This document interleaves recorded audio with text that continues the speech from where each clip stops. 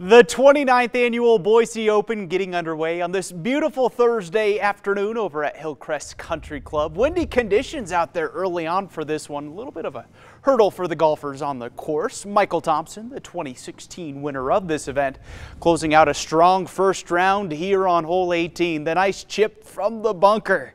I wish I could do that. He would putt in for par to finish his round at four under par.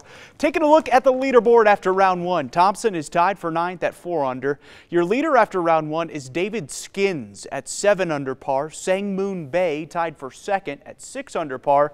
Nampa native Robert Garrigus tied for 56th at one under. Bae saying the course, it's in prime condition right now. The course was perfect and a little windy out there, but uh, yeah, I made a bunch of putts today. That's why I shot six under putt today here. I think the course is phenomenal. It's uh, it's just a pure old school track. There's so many opportunities to make birdies and a lot of risk reward holes with drivable par fours and, and gettable par fives. So it's a course you can really get it going on.